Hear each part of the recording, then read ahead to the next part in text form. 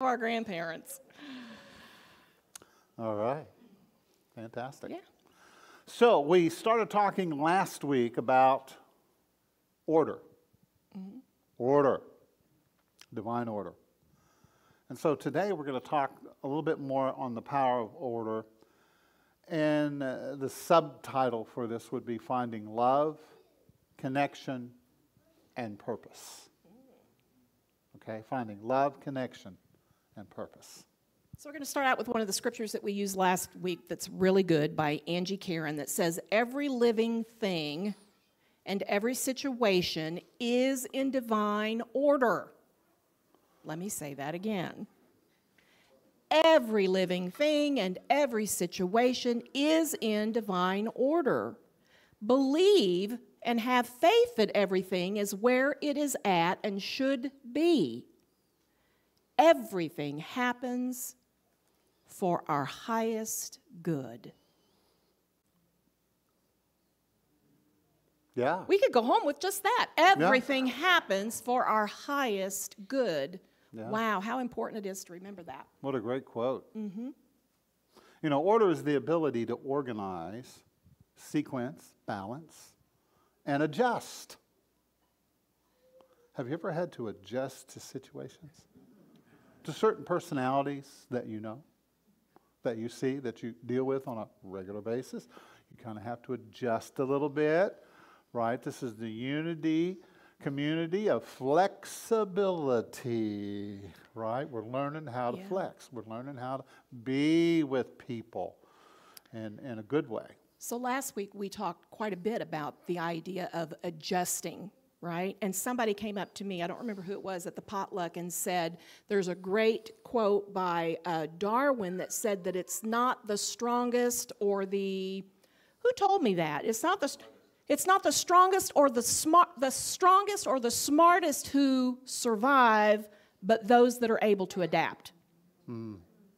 And I was like, "Where were you with that quote when we were?" And he said, "I started to stay up, stand up and say. I, yeah, because that's Yeah? the ability to adapt is so important."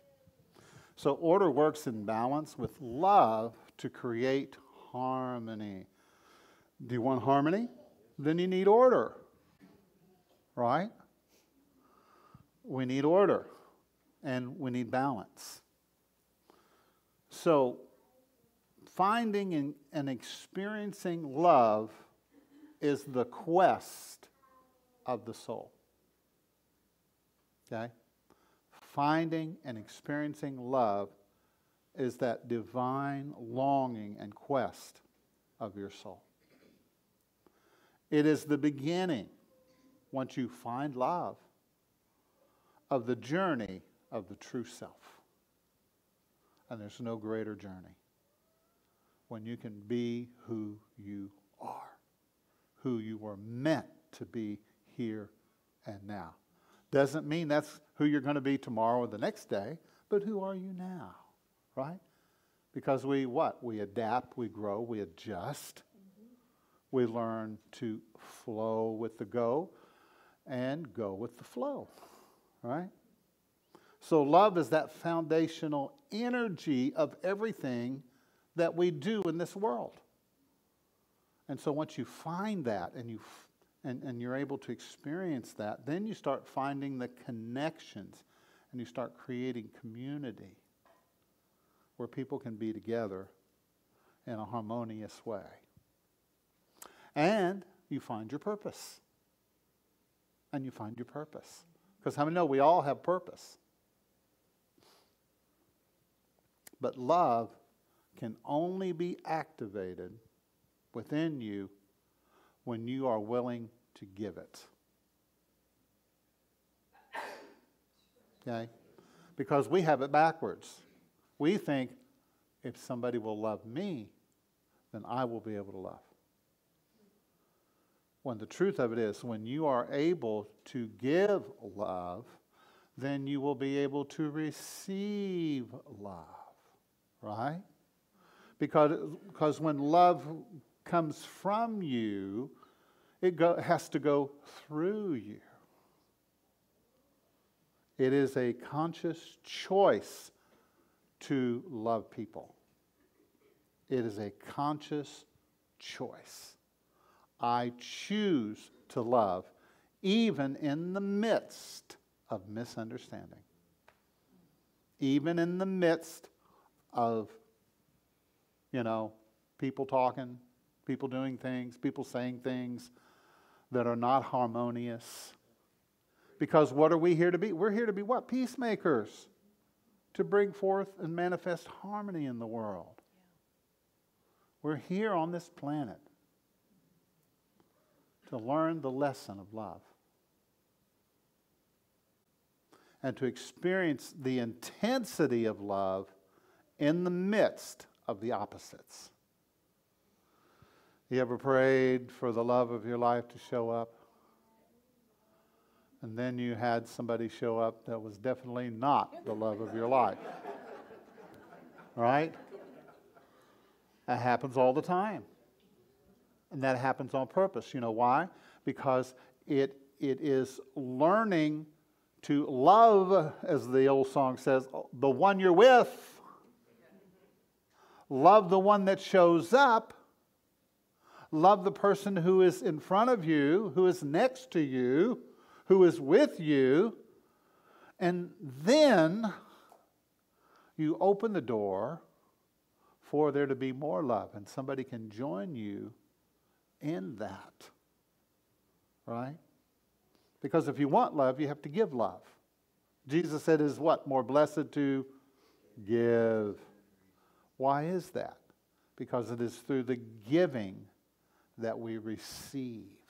Because I am blessed. When you're a giver, you're a creator.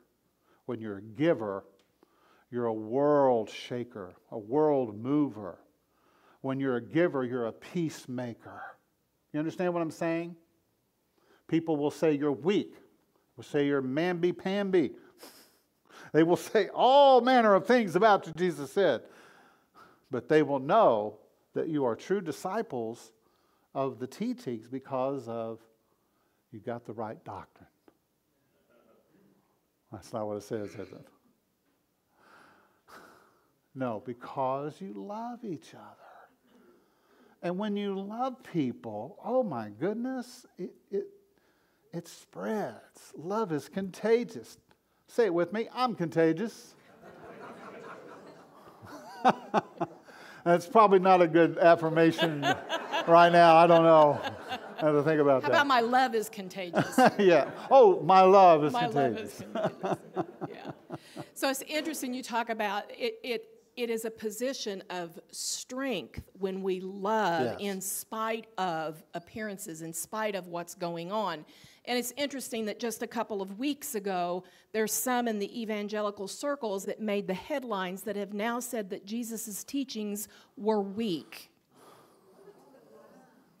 and that they're not relevant. The idea of turning the other cheek is not relevant for today. That might be an indicator of why some of the nonsense that's going on is going on, right? So, but the ability to be able to stand up in the face of chaos, opposition, disagreement, disharmony, people thinking differently than you think, Oh, my goodness. and stay in a place of peace Well, they can be wrong. is Right. strength. That's strength. the scripture says in uh, 2 Timothy 1 7, For God did not give us a spirit of timidity or cowardice or fear, but He has given us a spirit of power and of love and of sound judgment and personal discipline, abilities that result in a calm, well balanced mind and self control. Self control. We talk a lot about doing the work, self control. Unfortunately, James doesn't have a dial on him where I can just control him. He has to do it for himself. I don't have a dial on me that he can turn and control. I have to do it for myself. We all have to be responsible and do it for ourselves. There's a song by Jefferson Starship. There are lots of songs by Jefferson Starship. Don't you want somebody to love? Don't you need somebody to love? Wouldn't you love somebody to love? You better find somebody to love. And you know, to me, that, that is so powerful. That, that's a very spiritual understanding. A lot of our music, you know, the, the, there's, there's the, the, the poetry, it's more than poetry. Okay? You better find somebody to love. How many know that's your responsibility? We need to find somebody to love. Maybe, you know, it's your next door neighbor. Maybe it's the kids, you know, that live next door. Maybe it's whatever, you know, whoever. But you need to find somebody to love because once you find love, it's transformative. It's transformative. It's a transformative moment once you find love. And, and I know people that say, oh man, after I found love, my life changed forever. Right? And you, you have to experience it for yourself because nobody can take it away from you once you experience it for yourself because you know. You know. Fall in love with life. Fall in love with your life. Love your life. Love life, right? Love people. Fall in love with people. And fall in love with divinity. When you fall in love with life, when you fall in love with people, you fall in love with divinity. When it says to love God with all your heart, soul, mind, and strength, that's what it's talking about. It's talking about the act of love. The act of love. Until you do that, then there's holes, right? There's spaces inside of us that, that are incomplete. We don't feel whole. We don't feel well. And so once you find love, oh, that is the moment. That is your born again moment. Right? I've been saved by love. Are you with me this morning? So we know the one is the many, and the many are the one. So by learning all to learn learning to love everybody, you're learning to love all the different aspects of the divine. Say with me, really? That's loving God.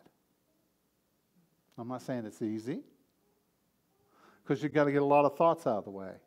you've got to let go of some feelings. You got you got to deal with some things on the inside that are blocking you from being able to give love to other people. Does that make sense? Yep. See, if you can only love certain people, then your love is limited and it's conditional. I love you because you love me. But Jesus said it's even greater when you can love somebody that doesn't love you. How do you do that? How do you do that? You show them respect, you honor them.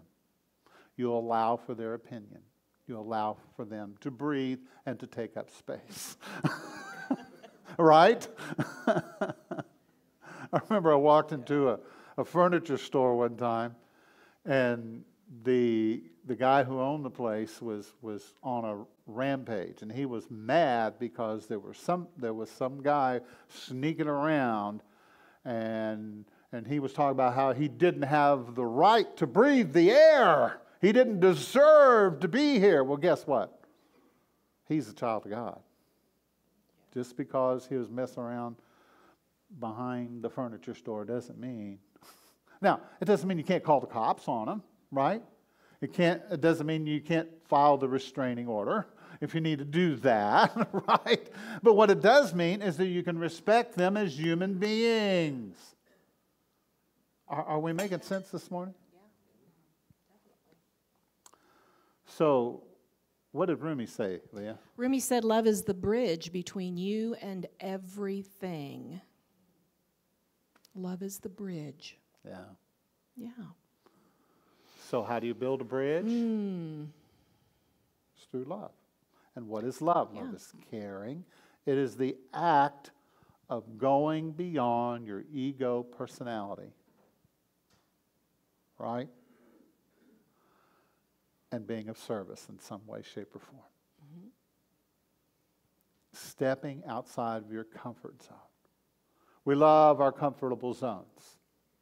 I, I love my comfort zone at home, you know? My chair that I sit in and, and you know, the, uh, my desk that I, that I work from and, and my bed that I sleep. I love my comfort zone, right? And, and I love my life. But I have to reach out beyond that in order to be complete, in order to be fulfilled, to be unconditional. You know, I was thinking about the, the mother bird that when she knows it's time for the chicks to leave the nest, one of the things that she starts doing is stirring up the nest and making it uncomfortable. She starts moving things around and make it uncomfortable so that they want to venture out of it. Ah, so sometimes we like to stay in that that feels really, Yes, you know, feels good, it feels comfortable, right? We don't want to deal with unpleasant people or people who think differently than we do, but everyone that shows up in your life serves a purpose. From those that are the easiest to love, hmm. all the way to those that are just so hard to be with. They're serving a purpose. Do you know what that purpose is? Have you kind of explored it and, and delved into it to, to understand and know what that purpose is? Because that's one of the things that I do first. When someone shows up in my life that's presenting me with some kind of a rub, some kind of a, mm, there's just something there. The first thing that I have to go to and look at and ask myself is what is this person reflecting to me? What are they here to teach me? Not, oh, I get to deal with another, you know, personality. What, what are they here to teach me? What are they here to show me? So e- the people that show up that even are the hardest, the most negative people that you that you can imagine, assist us in showing us the opposites. Sometimes I know you've used that phrase about sometimes they serve as a warning, not, not how not to be or not you know what not to do. There's that. But they show us the opposite because if, it, if we're always with the easy to love, easy to get along people, always with them, we forget that it's not always like that. And then when we meet up with someone, it's like we don't know how to be with them. So they show us the, the opposite and the shadow. Did you know you have a shadow? Let me tell you something. You have a shadow. How do I know? Because I have one, you have one. We all have this shadow aspect of ourselves, and it's not always pretty. The shadow part is not always pretty. So these people help us remember that, oh, yes, there's a shadow part. Wayne Dyer says, let the world unfold without always attempting to figure it all out.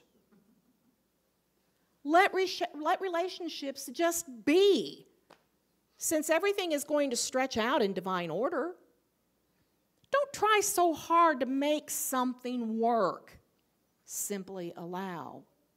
Don't always toil at trying to understand your mate, your children, your parents, your boss, or anyone else, because the Tao is working at all times. The divine is working at all times. We can lose a lot of our energy trying to figure things out Yeah. when we could just lean into that understanding and knowing that everything is in divine order. I don't have to fix this, I don't have to figure it out, I don't have to do anything but just allow it to be. Yeah. Wouldn't that feel good? Yeah. To live life from that perspective. Hmm. Absolutely. Further, the scripture tells us in Ephesians 4 11 through 13 so the Christ gave the apostles, the prophets, the evangelists, the pastors, and teachers to equip his people for works of service, so that the body of Christ may build, be built up until we reach unity in the faith and in the knowledge of the Son of God and become mature, attaining to the whole measure of the fullness of Christ. Is anyone yet here living to the fullness, the whole measure of the Christ? I doubt it. Well, we're working on it. We're working on it, but we're not there yet, are we? That is our goal to live the fullness. Yeah. So Mature, be mature. be, be and what is to be mature? To be mature in love is what we're talking about. It's always about always refer back to love. Mm-hmm. Okay? That's the first alignment. That's the second alignment. Love, love, love. That's it. That's it. And what does that mean? And then as you grow, you start to define it, you start to feel it, you start to experience it more and more and more and more and more. And then it starts kind of coming out more, you know, through you. That energy flows out your hands. That energy comes through your eyes. It comes through your words when you talk, when you speak. And then you become a loving presence, a healing presence in this world. Now, I know it's tough, but that's, that's why. So, I want to talk for a moment about purpose. Because you think, well, what's, what's an apostle? What's a prophet? What's a, an evangelist? What are all these things, you know? And, and there, there have been different interpretations, right? And, and, and we're not saying anybody's wrong. No, no, no, no, no. We're not saying that. But there is this fivefold ministry, five gifts and callings that we all have, okay? And so the apostle, who's representative of the thumb, say with me, I am somebody. All right? Knew that was coming. That's being a prophet. But anyway, we'll get to that in a minute. Oh. Try to stay with us here. so, an apostle, the, the word literally in, in, in, in the Greek means a sent one, one who is sent, one who is sent to build and create community. That's an apostle. And bring people together around a common goal. Okay? You may be an apostle. Now, there's different levels and different understandings of it and how it all works, but we've got some apostles in this room right here, right now. Okay? And, and but in this case, is talking about with a spiritual goal in mind. A spiritual goal in mind. So, by using the gift of order and balance, these apostles have the natural ability to gather and organize people in a spiritual way. I mean, understand, we've learned to be together according to different ways. So, how now can we be together in a spiritual way?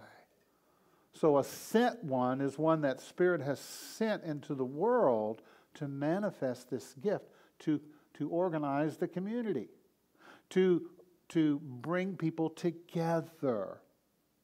And there's some of you that, we, you know, we had a wonderful dinner the other night at, at, at, at, at some, uh, with, with, some folks, and it, it was the apostle of our sacred service invited us over and gathered us together and fed us and, and loved us and celebrated, you know, that we've, we've reached a, a goal. You know, we, we've been able since the pandemic to actually uh, create, you know, more of the ways of service that we were doing before and actually even to broaden it a little bit and to tweak it and to make it better, right?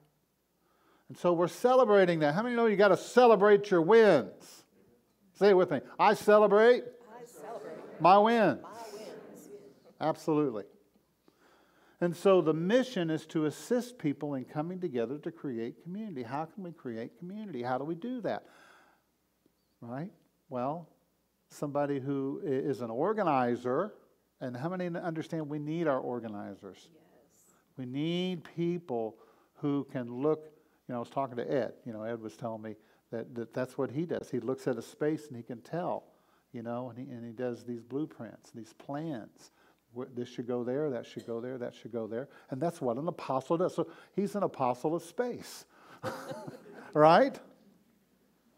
Apostles, they're apostles of people, apostles of things, apostles of places, apostles of finance, and event coordinators and administrators. They all fall under this, this, this being an apostle, being sent into the world to bring order, to bring order, to bring balance.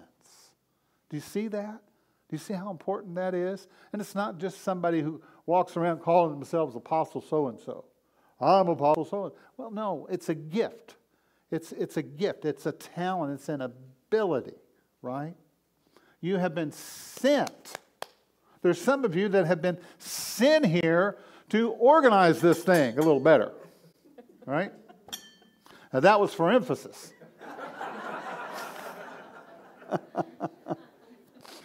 You know what I'm saying? We, we, there's certain things that need to be organized, and we need your left brain. We need your ability to put things in the right space. Don't you love those shows where they go in and everything is chaotic and, and they say, okay, we're going to make you a closet that you're going to love. we're going to put some shelves.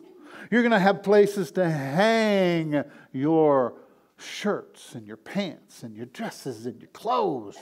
And everything is going to be so neat and tidy for you. And then as you experience that organization, you feel better and you're able to flow better. And then when you go to get clothes, you're not looking around on the floor, you know, but it's been organized, right? And there are people who have that gift. There's some people that have that gift in spades, and they're almost obsessive about it. Bless their hearts. and we love them for it, don't we? We love them for it. We need it. We need it because they have the gift. So, do we have any apostles here this morning? I'm sure we do. I know we do. Absolutely. And it's wonderful. So, that's the thumb ministry. you know, the apostles part of the thumb. I'm part of the thumb because you need the thumb in order to grab hold, right? You need that thumb. Without your thumb, you pick something up and right? You need the thumb. So the thumb is very important to organize. Then there's the prophets. And that's the pointer finger. Prophets. They're the ones that are led by intuition to know what the next step is. Right? And they use creativity in everything they do. They're creative. They're always in the right brain, just hanging out I don't look like that. Those prophets um, and right brain people. the prophets are the singers, yeah. the poets, the songwriters, the authors, the spiritual influencers, the creative right brain types. Sharing the word of truth from a higher realm, from a higher dimension. They're experiential. If you talk to somebody who's a prophet, you say, Well, I think you should do this. They say, Wait a minute, no. Um, I got to experience it for myself. As soon as you tell them, don't do that, they will do that. you say, don't do this, they will do this. Because of that creativity. They want to experience, they must experience something for themselves. Now, as you go through this, you might find that you've got a little bit of apostle, you got a little bit of prophet, you got a little bit of all of it, you know. But but we need the prophets in our midst, the, the creative folks. You know, we need that creativity.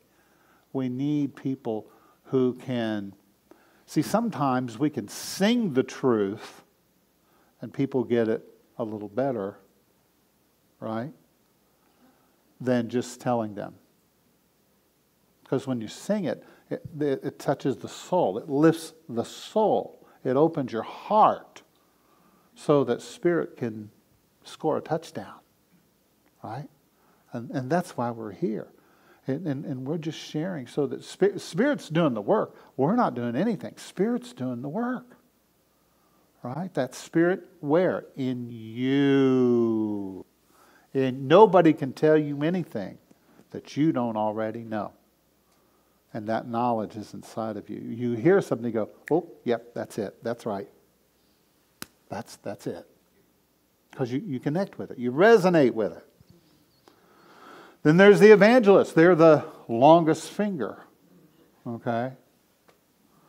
And they share the message of good news. Good news.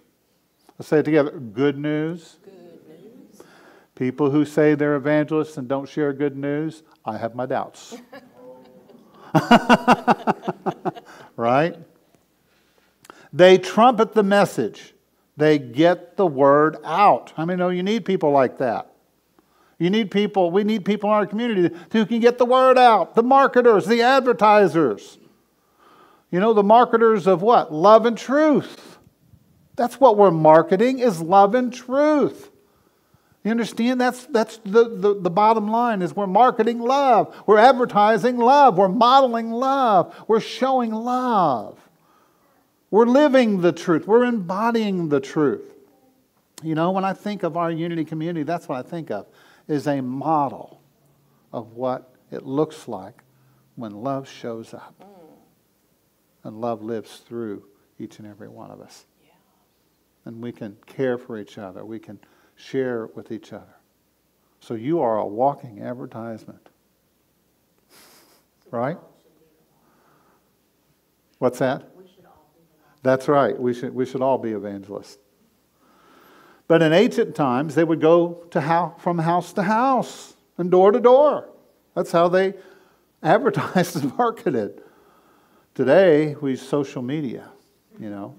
You know why we use that? Because that's where people are.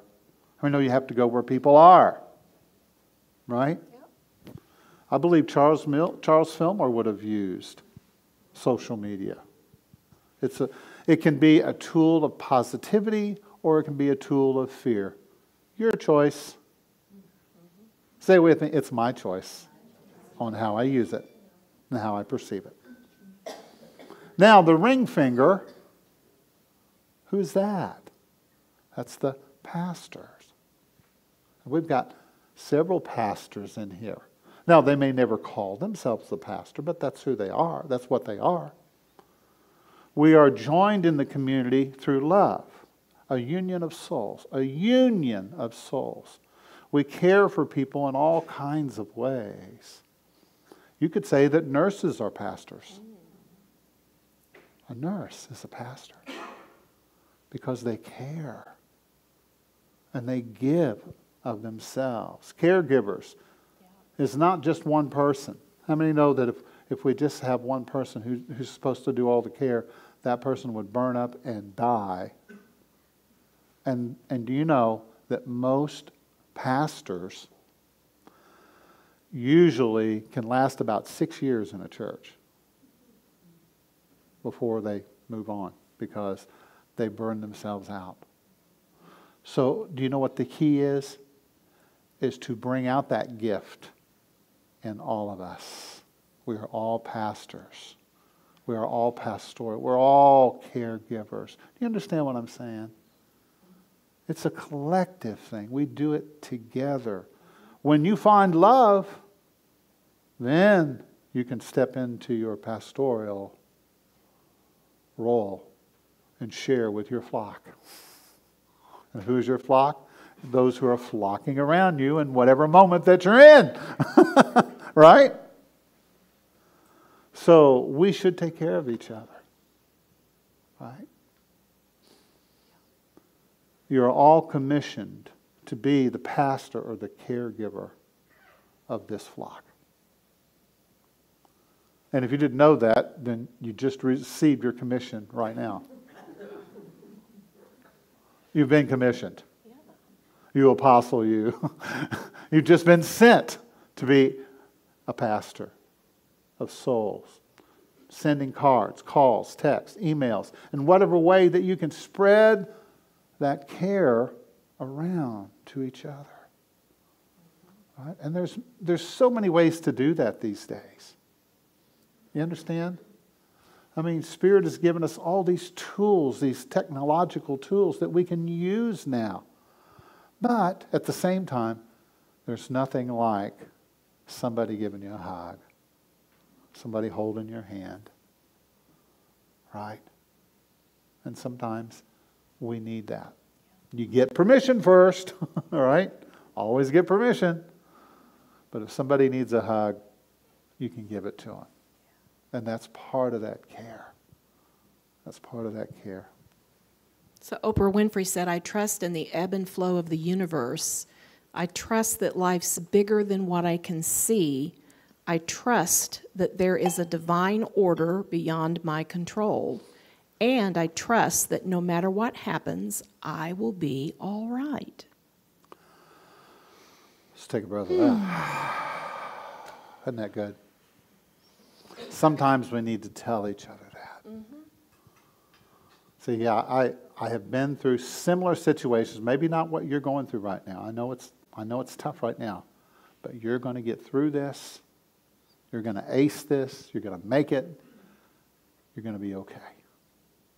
And just somebody telling you that, just somebody, you know, holding your hand and telling you that you're going to make it through. That's what the prayer chaplains do.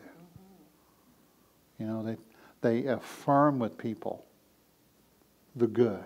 They affirm the positive. They affirm the higher good, the higher meaning. Because sometimes we forget. We get down into the dirty, gritty, low down stuff and I need somebody to help elevate me a little bit, right? And so somebody who can pray with me and just hold my hand and say, You're going to be okay. It's going to be all right. You're going to get through. We're going to get through. We are going to get through this. You understand? That's showing love from the heart. Now, the last one is the little finger. But it's not little because you need your little finger too because it's hard to grab things without your little finger, right? That's how you grasp something, is with your little finger. You grasp it. What does a teacher do? They teach universal principles of life to people. Universal principles. This applies to everybody. Isn't that great? This isn't just for us and no more. These are universal principles that if you use them, if you work with them, if you, if you, you know, work at it, they will bless your life. They will change and transform your life because they're universal, the principles of this universe. Divine principles. Got that? I think. Thank you. So, spiritual teachers speak about love, forgiveness, peace, understanding. You know, in Unity, we have something called the L, the licensed Unity teacher, licensed Unity teacher. And we have one person who's going through that, Lisa, is going through that program right now.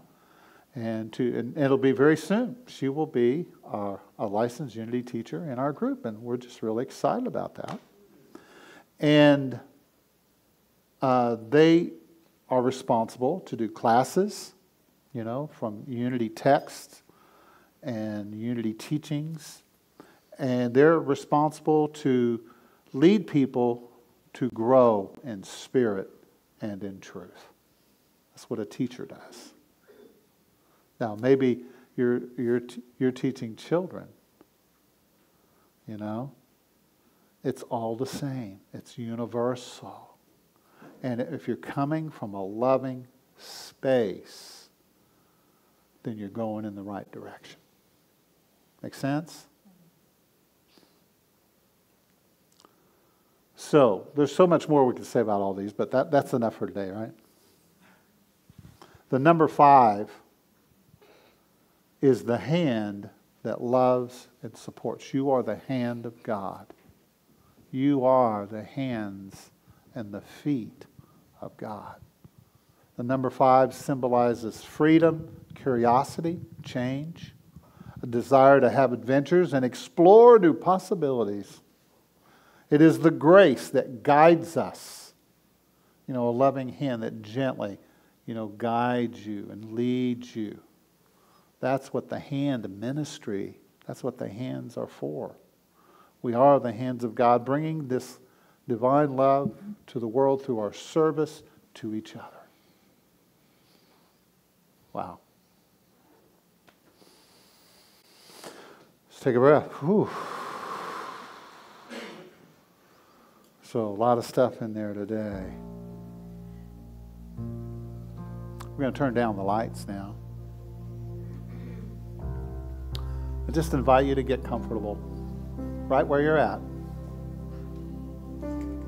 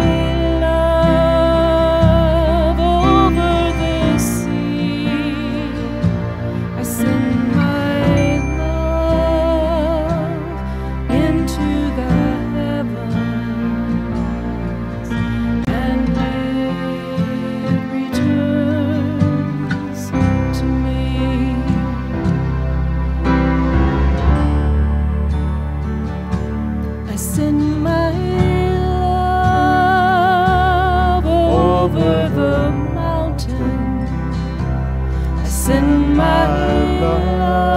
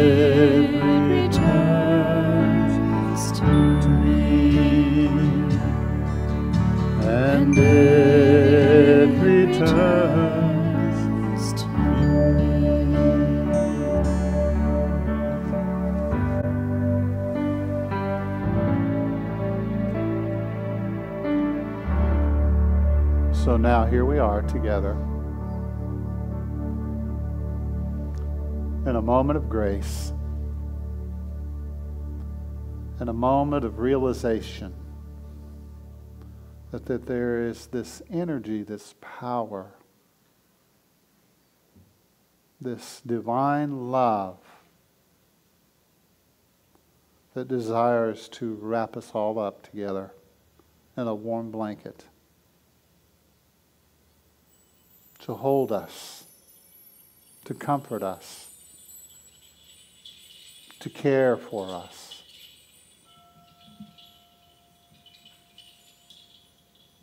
So, in this moment together, we relax.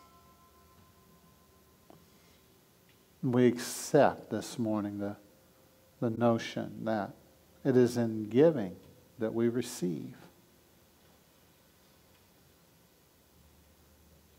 So we release the barriers and the blocks and the walls. We let go. And we open the door, maybe just a little bit, a crack, and let in the light. Let in the light.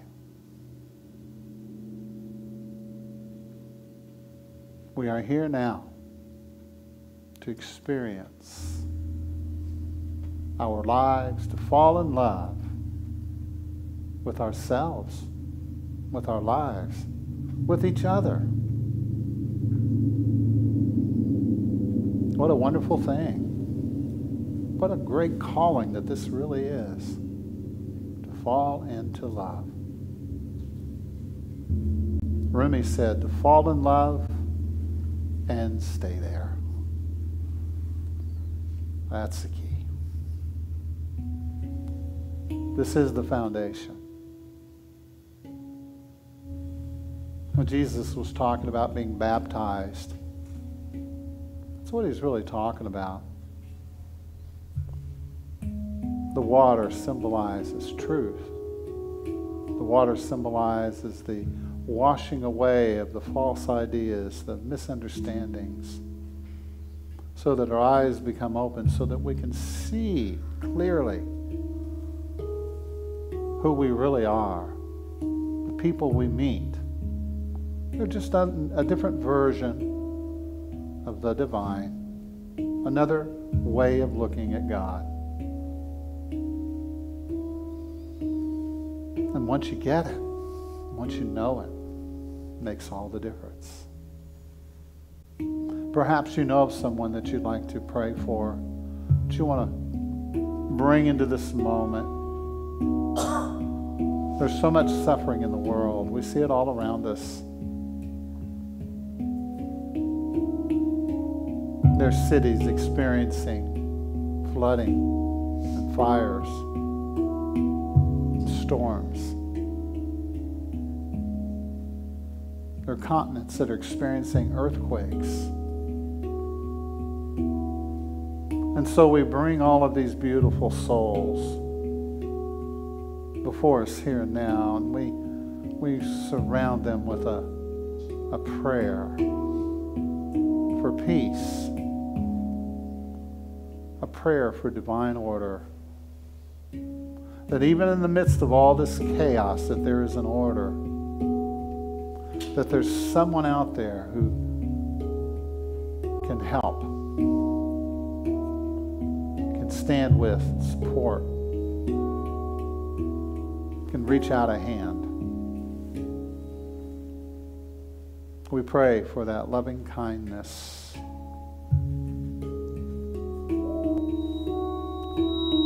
Wonderful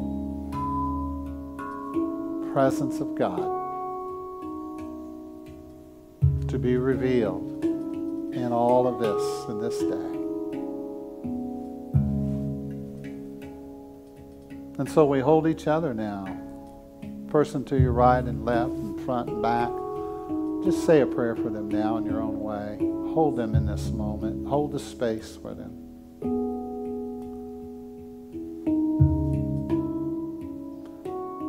Might just affirm, I love you and I give love. I love you and I send my love to you. I appreciate you. I bless you.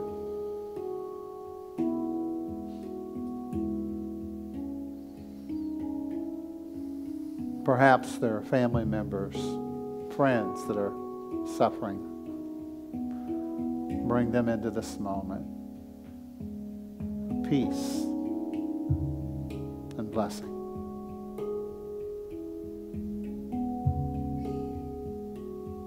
We're grateful now for all the good in our lives. We say thank you, thank you, thank you. Thank you for the grace, for these moments of grace and peace.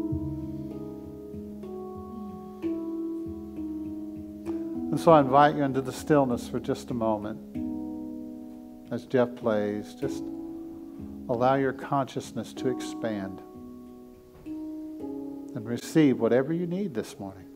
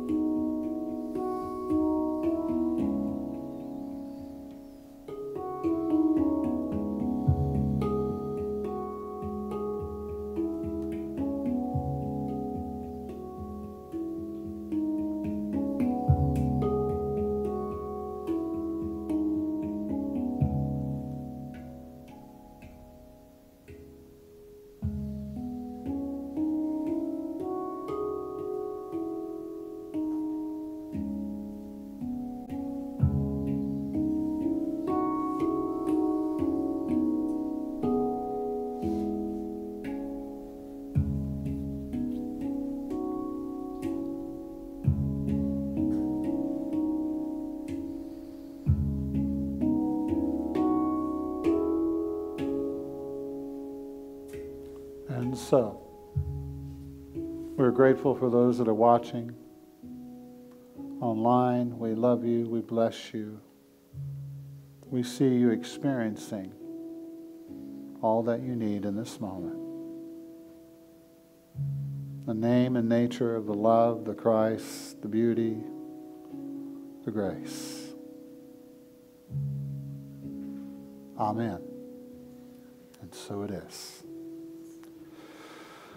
All right. I invite you to take in a good breath and just kind of reach and stretch. Don't move too fast. Kind of let the muscles adjust a little bit. Yeah. Wow. Thank you for your prayers this morning.